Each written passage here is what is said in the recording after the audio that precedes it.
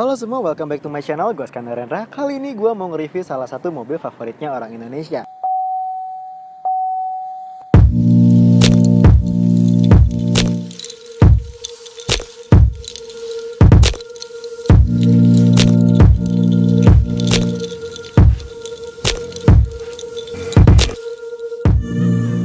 Sedikit cerita, flashback ke tahun 2015 silam, duo kembar Daihatsu Sigra dan Toyota Calya lahir di bumi ini. Nama Sigra berasal dari bahasa Sanskerta yang berarti respon yang cepat. Dan perlu tahu juga, kalau mobil rakitan Karawang ini terbuat dari 94% komponen lokal. Jadi nggak heran kalau pajaknya lebih rendah dari mobil-mobil yang lain. Sebenarnya, Sigra ini bentuk perkembangan platform adiknya, Ayla, seperti yang kita tahu juga, Ayla adalah hatchback kecil untuk 5 penumpang. Sedangkan Sigra adalah LCGC 7 seater yang mana jelas ukurannya akan lebih besar.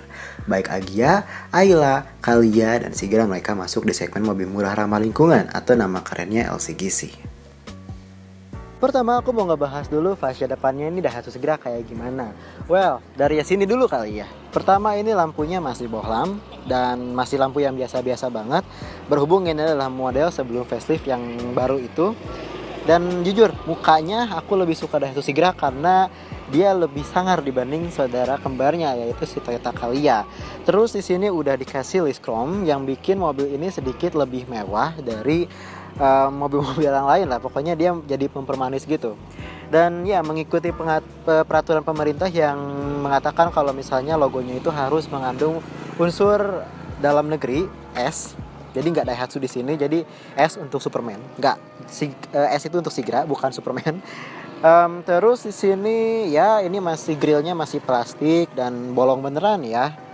Buat apa juga dibohong-bohongin gitu. Terus ada fog lamp yang masih um, bohlam biasa dan itu warnanya kuning ya. Daihatsu Sigra menggunakan dua pilihan mesin yaitu 3NR VE 4 silinder berkapasitas 1,2 liter serta mesin 1KR VE 3 silinder berkapasitas 1000 cc dan Sigra yang direview menggunakan mesin 1200 cc. Mobil Daihatsu Sigra bermesin 1200 cc dengan teknologi Dual VVTi mampu mengeluarkan tenaga maksimal hingga 87 HP pada putaran 6000 rpm serta torsi maksimal 108 Nm pada putaran 4200 rpm. Mesin 1200 cc mendapatkan pilihan transmisi manual 5 percepatan dan otomatis 4 percepatan. Mesin ini menghasilkan efisiensi 12 km per liter dalam kota dan 20 km per liter luar kota, artinya jalur tol dan mesin ini cukup bertenaga namun terasa agak loyo saat melalui jalanan menanjak. Masih bicara tentang mesin, mobil ini berkompresi 12 banding 1, maka sangat disarankan meminum BBM minimal okta 92.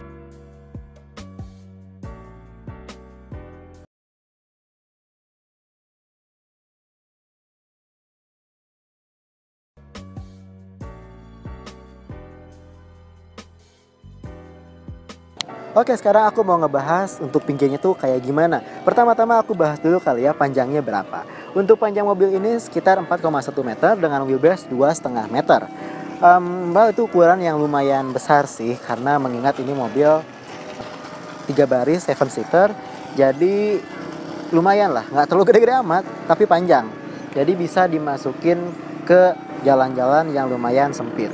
Pertama-tama yang aku mau bahas dari pinggirnya adalah masalah bannya Ban di sini masih pakai Bridgestone hmm, Ecopia dengan ukuran 175 65 R14. Jadi ini sebenarnya ban yang memang nggak terlalu gede-gede amat. Jadi kalau misalnya teman-teman ngerasa ini bannya masih kekecilan, teman-teman bisa lebih gak teman-teman bisa gampang untuk ngegantinya uh, dengan pelek ataupun ukuran ban yang lebih gede karena fender fender dengan ban itu masih agak jauh jadi bisa lebih uh, gampang lah buat ngeganti ban yang ukuran lebih besar. Oh ya, untuk keselamatan juga untuk rem di depan itu udah pakai rem cakram yang dilengkapi dengan ABS. Terus untuk spion ya, spionnya juga udah elektrik buat ngatur kacanya dan dikasih lampu sen juga, tapi ini masih belum auto retract ataupun e, lipat secara elektris. Ya, jadi harus di lipat sendiri dan kita emang agak repot sih. Jadi harus dari dalam kita e, ngelipat sendiri. Terus di sini udah ada aksesoris talang air, jadi teman-teman gak akan keceretan ataupun kebasahan lah karena air hujan yang masuk karena ini ada talang airnya gitu. Terus di sini ada blackout pilar yang bikin mobilnya itu lebih bagus lah gitu, lebih menarik buat dilihat karena ini jadi bikin sedikit floating proof terus apa ya? Oh ya untuk ini nih ban belakang masih pakai rem tromol dan mengingat dengan harganya yang 140 jutaan itu masih maklum lah dapat mobil yang rem belakangnya masih tromol. Toh juga nggak terlalu kepake-pake amat karena aku nggak akan ngedrift nih pakai mobil kayak gini kan? Terus di sini ada tangki bensin jadi teman-teman kalau nyetir mobil ini ingat ya tangki bensinnya ada di kiri. Siap Oke, sekarang aku mau ngebahas di belakang ini ada apa aja. Mungkin teman-teman udah sering lihat lah di jalanan tampilan belakang dari Daihatsu Sigra ini. Tapi aku bakalan jelasin aja lebih ditanya kayak gimana. Jadi yang pertama kita dapat antena um, short pole. Jadi dia nggak usah ditarik-tarik lagi, dia udah kayak gitu, udah bagus sinyalnya. Terus di sini ada dapat spoiler. Kembarannya sendiri dia belum dapat spoiler hitam ini. Terus di belakang ini memang sayangnya belum ada yang namanya rear defogger walaupun itu sebenarnya kepake sih karena kalau misalnya hujan embun itu memang mobil ini nggak terlalu kelihatan buat ngeliat ke belakangnya. Terus um, masalah tadi itu agak terkompensasi dengan adanya rear wiper jadi masih kehapus lah air yang ada di belakang. Terus di sini ada reflektor ini nggak bisa nyala dan balik lagi tadi cuma ada di tipe R doang yang ada uh, reflektor lampu belakangnya gitu terus di sini lampu belakangnya masih bohlam semua lampu sen lampu rem dan lampu malamnya gitu kan nanti aku tunjukin juga nanti kalau misalnya nyala malamnya tuh kayak gimana Terus di sini ada logo Sigranya yang menjelas ini mobil Sigra, ada tipe R-nya dan dua VVTi. Dua VVTi itu mesinnya gitu kan. Kayak aku udah bahas tadi. Terus di sini ada Aso Daihatsu yang memperkuat kalau ini adalah produk Aso Daihatsu. Dan di bawahnya juga ada dua titik sensor parkir. Jadi kalau misalnya teman-teman mau mundur ataupun mau parkir, jadi nggak terlalu khawatir yang namanya nabrak.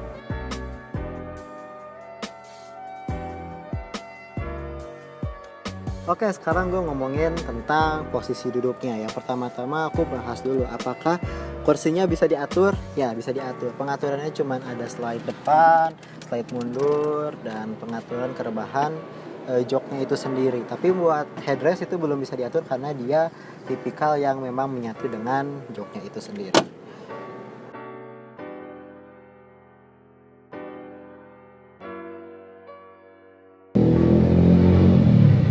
Oke, sekarang gue mau bahas interior Daihatsu Sigra ini. Tapi pertama-tama gue mau bahas tentang door trimnya. Yang pertama, bahan dari door trim ini masih hard plastik ya teman-teman, masih ya biasa. Terus di handle pintunya dikasih chrome biar manis gitu. Terus udah ada power window 4 sisi. Tapi yang masih yang udah auto itu driver dan itu juga auto down aja, belum auto up.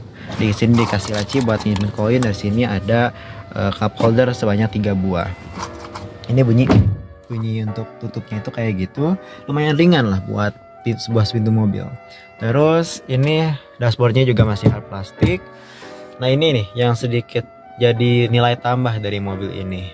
Head unitnya ini udah double din udah bisa connect ke bluetooth dan bisa connect ke iPad ataupun Android. Gagang tuas personalingnya juga disimpan di sini dan ini yang juga jadi nilai tambahnya.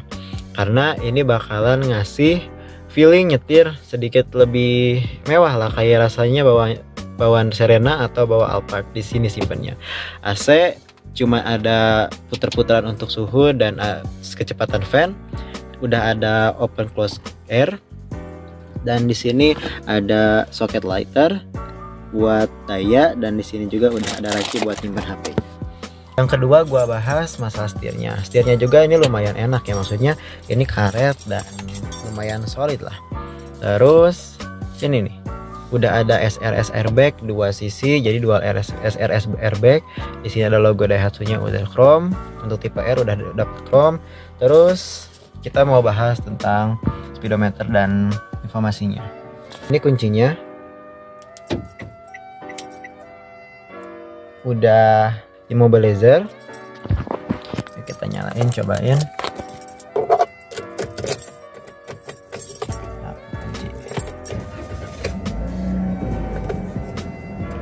ini kalau misalnya lampunya nyala ini kayak gini.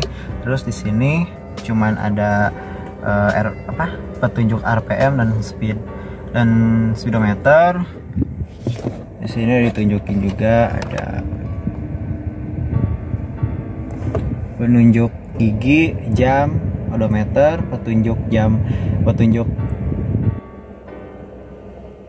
tangki bahan bakar ada uh, trip A trip B uh, rata-rata konsumsi BBM range sisa bahan bakar dan eco terus di sini ada tuas wiper bisa diatur kecepatannya dan interval interval waktunya wiper belakang semprotan dan lampu sen oh ya Sigra ini punya fitur yang namanya kayak cuman diklik aja dia udah nyala tiga kali dan ini bener-bener kebantu kalau kita lagi ngebut di jalan tol.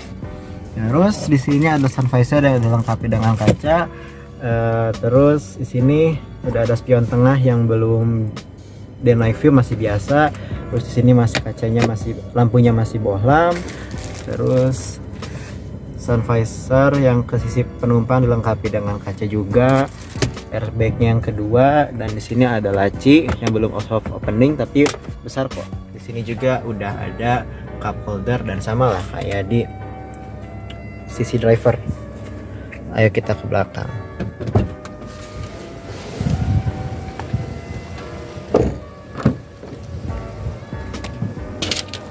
Untuk di sisi belakang ini ada cup holder satu speaker. Oh ya mobil ini tuh mobil ini tuh udah dikasih empat speaker dikasih laci juga buat nyimpen koin gitu. Terus ada power window. Jadi nggak capek buat muter-muter.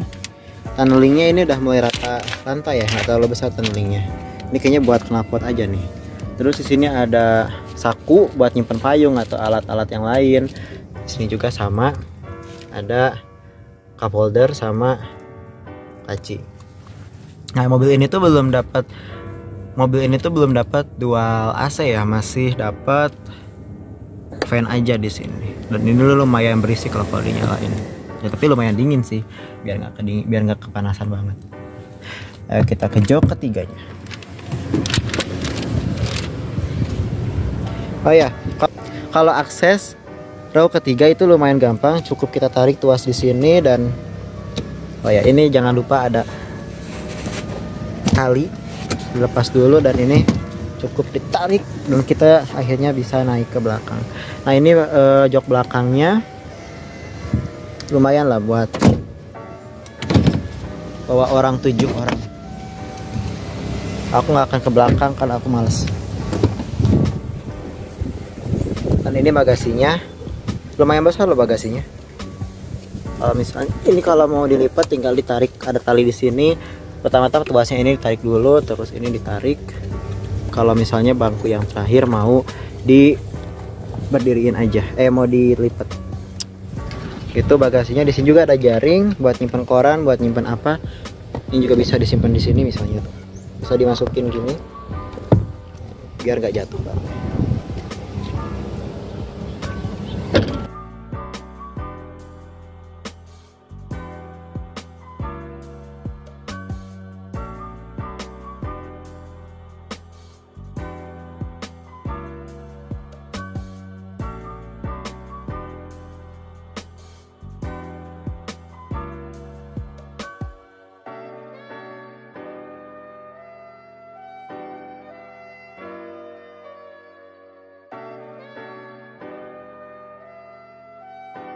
Nah terus Nah, salah satu fitur yang bisa diandelin juga nih di mobil ini, misal kalau misalnya kita dalam kondisi hujan, nah hujan itu kan berarti wiper depan harus nyala nih.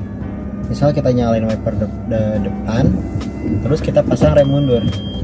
Nah itu otomatis si wiper belakang itu nyala sebanyak tiga kali gitu. Jadi kita nggak usah uh, nyalain wiper belakang kalau misalnya hujan. Cukup wiper depan, kita masukin ke gigi mundur, dia langsung nyala sendiri. Oke, paling gitu aja review singkat untuk Daihatsu Sigra tahun 2017 di PR ini. Um, semoga bermanfaat videonya dan semoga bisa memberikan rekomendasi lah buat mobil yang teman yang punya keluarga yang banyak terus pengen mobil yang murah dan dapat fitur-fitur yang lumayan. Sekian, makasih. Jangan lupa like and subscribe, komen yang positif-positif.